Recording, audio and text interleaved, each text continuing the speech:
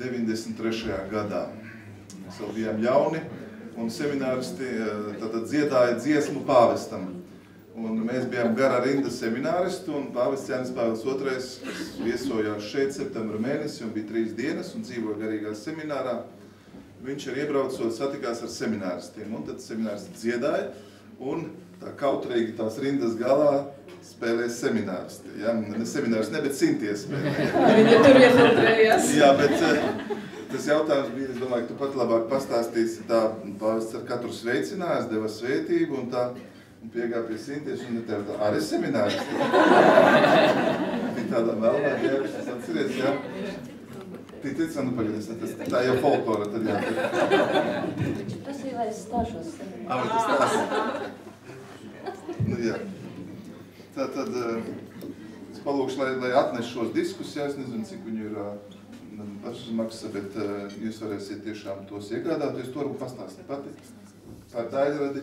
Tad šodienas tēma, un es tāpēc arī tā izlūdzos, lai tu paliec, jo tēma mums ir, kā Dievs mūs vada. Varbūt tu vari pateikt, kā tevi Dievs ir vadījis. Šodien ir tavs, zinām, mērā ne pirmais auto koncerts šeit, sapulcināja brīnišķīgus muziķus, tu arī to pagodināja Dievu. Kā tad Dievs tevi vada? Slavēts Kristus. Man prieks ir, ka Dievs tiešām var lietot mani.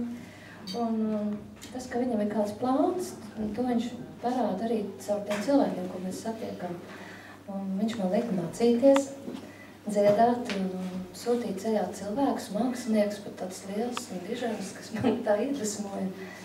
Man apķērus Inga Kalna un tad kā holandēja mamma man sūtīja mācīties. Nu, tādu, tādu notikumu, kas man tā kā lika, ka Dievs kaut ko grib, lai, lai es, lai es tā kā, nu, viņu tā godinātu caur, caur mākslu un caur mūziku.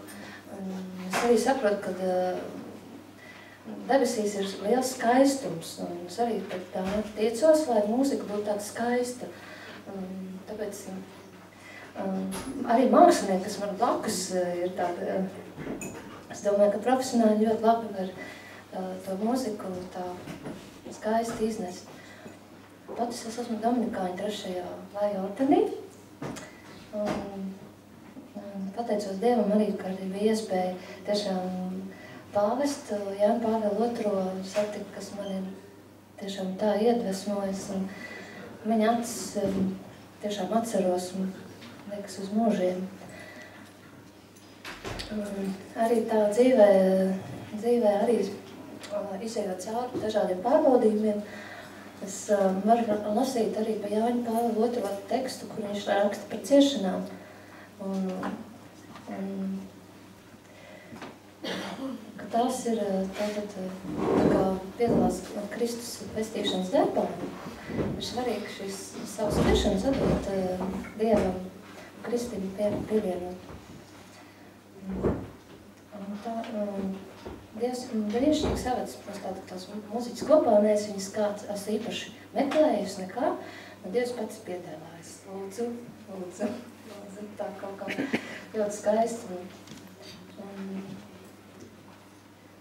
es novēlējums katram ir tā, tas ceļš, ko, ko, lai jūs sadzirdētu to, ko Dievs no jums vēlās. Un, un svarīgi tagad pašiem tā neapstāties un turpināt darboties. Jo es arī tā izdaru secinājumu, ka nu, tā dzīve tiešām ir īsa. Un, un tas skaistākais, ko varam darīt, kad mēs kalpojam viens otram un Dievam.